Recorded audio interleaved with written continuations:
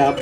กฤษดาพี่ให้ในหารนะครับจากโรงเรียนบ้านเก่งขิมนั่นเองครับครับก็ขอต้อนรับทุกท่านนะครับเข้าสู่มหากรรมคอนเสิร์ตโอเคลูกทุ่งเฉลิมพระเกียรตินะครับ ซึ่งในปีนี้เราก็มีตอนลูกทุ่งวรรณคดีไทย